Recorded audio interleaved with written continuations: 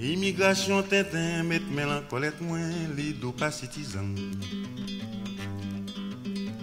Li di vote 44 This video contains information for folks who enter the United States without a visa or other entry document and who are apprehended by the Immigration Police, which is known as ICE. The information is current as of January 2023. The U.S. immigration system is an intimidating and racist system. It was designed to be this way and can sometimes feel discouraging. We hope that this video helps you defend yourself in your immigration case in the United States, avoid immigration scams, and learn more about advocacy efforts to transform the system. The information provided in this video does not and is not intended to constitute legal advice. Instead, all information is for general informational purposes only. Anyone watching this video should contact a reputable immigration attorney to get advice on their particular case. What will happen when you are released from detention? What should you do next? Once someone is released from ICE custody, it is important to understand whether they have ICE reporting requirements, immigration court hearing dates, or both. This varies from person to person. How to handle ICE check ins. If you have been released from ICE custody, you may still have reporting requirements with the nearest ICE office. These requirements may involve one or more of the following attending in person check ins, having weekly phone calls with an ICE officer, uploading weekly photos to an app on your phone, the use of ankle monitors, and or home visits. In person check ins are at the ICE office nearest to the address that ICE has on file for you. The frequency of these check ins varies case by case. They may be required every month, every six months, or every year. Make sure not to miss your check in appointments, as missing these appointments can affect your immigration case and escalate the enforcement tactics used by ICE. If you have an emergency, contact the ICE office to let them know. Contact info can be found here at the link on the screen, ice.gov slash contact slash field dash offices. Some people are required by ICE to wear a GPS ankle monitor. These ankle monitors can be physically painful, they are stigmatizing, and another form of incarceration. If your monitor is defective, for example, if it overheats or the battery discharges very quickly, you should contact the ICE office to let them know.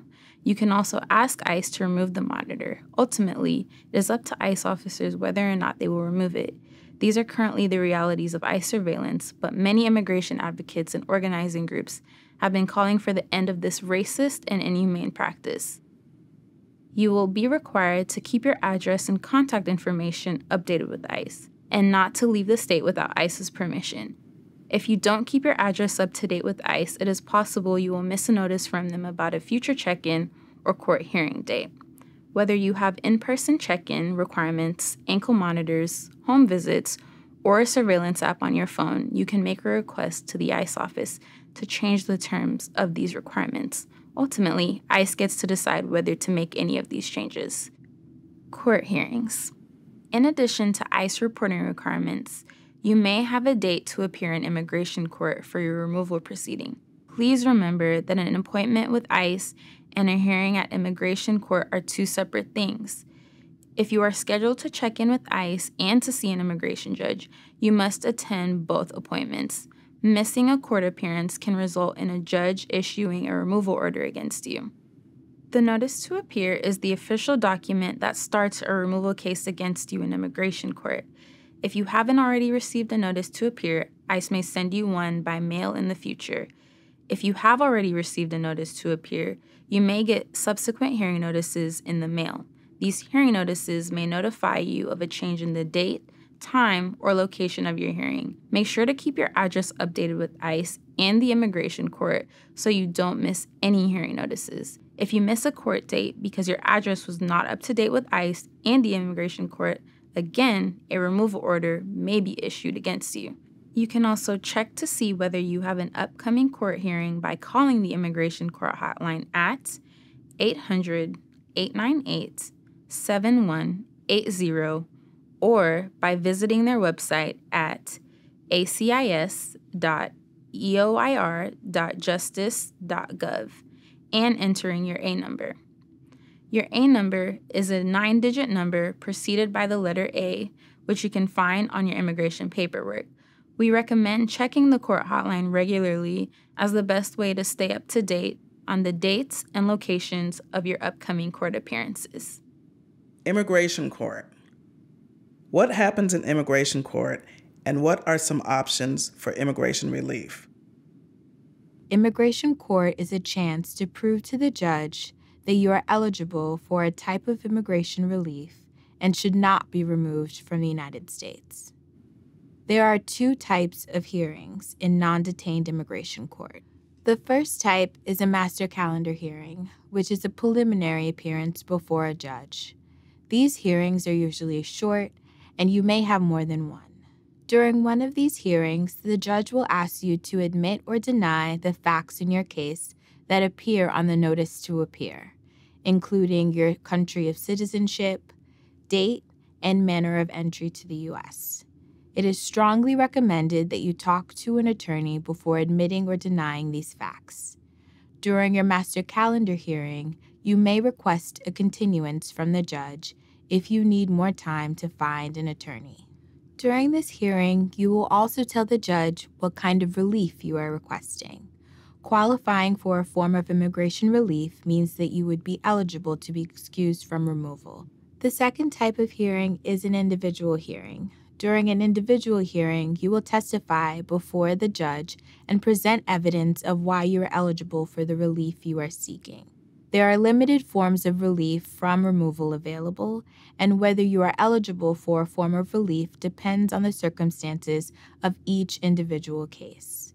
It is critical to get a full screening from a reputable lawyer to see if you are eligible for a particular form of relief. We will discuss ways to find one later in the video. Types of relief. One type of relief is family based adjustment of status. This is where you may be able to apply for legal status in the United States through an immediate relative, in most cases, a U.S. citizen spouse, a child over the age of 21, or a parent if you yourself are under the age of 21. Generally, you must have entered the United States lawfully through a port of entry or have received parole at the border to qualify for this form of relief. But there are some exceptions to this. Again, talk to a reputable lawyer to see if this option is available to you. Another type of relief is asylum. A person may be eligible for asylum when they have suffered past persecution or have a well founded fear of future persecution in their home country. That persecution must be based on one of the following your race, religion, nationality, country of origin, political opinion, or membership in a particular social group. Being part of a social group could be the fact that you are LGBTQ, a woman, a member of a community organization, student group, to name a few examples. It is a broad category in which association with a particular social group could lead to being targeted.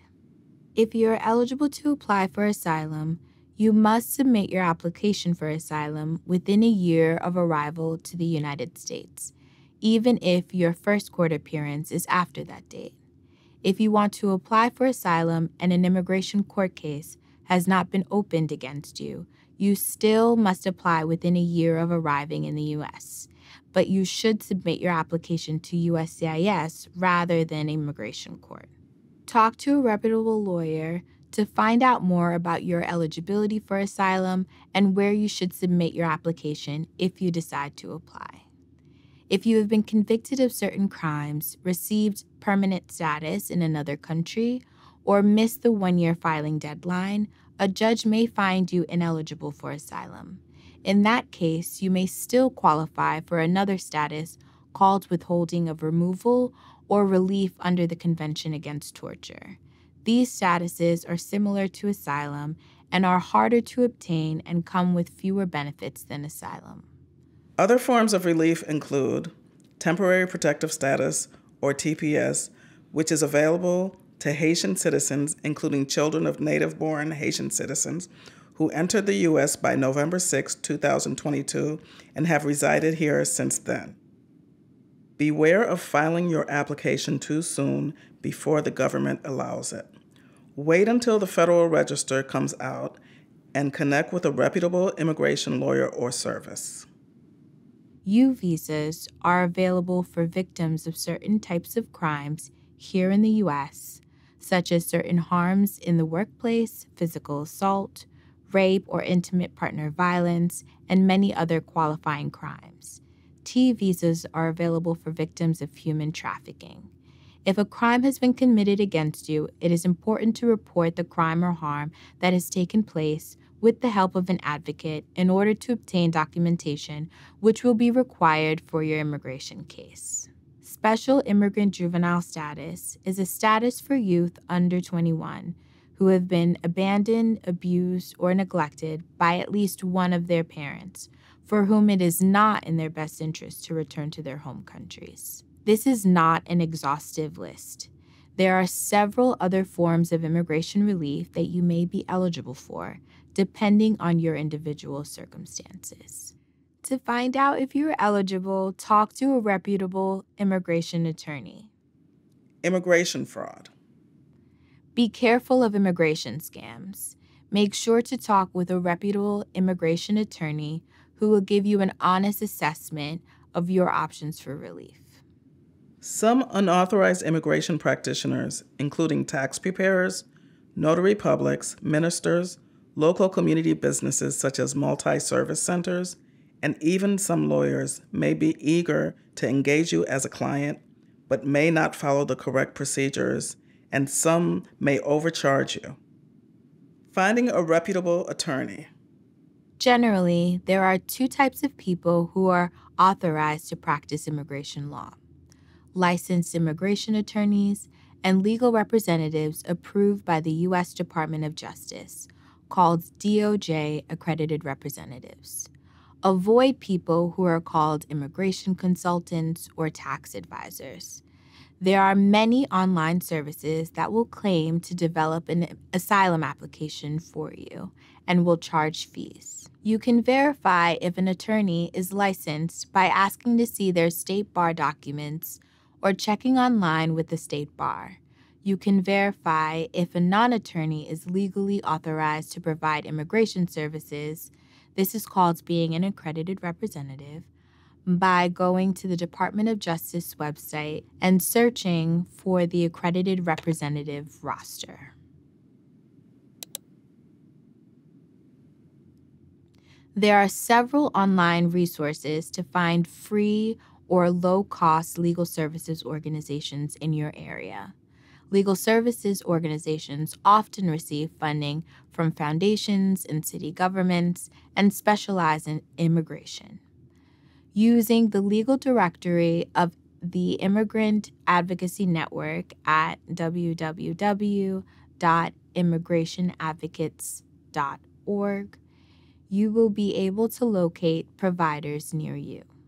Another resource is Law Help at lawhelp.org. You will be able to select the state where you reside and search specifically for immigration assistance. Many legal services organizations have had reduced capacity or wait lists due to COVID. It is important to call and leave a voicemail with your contact information clearly stated.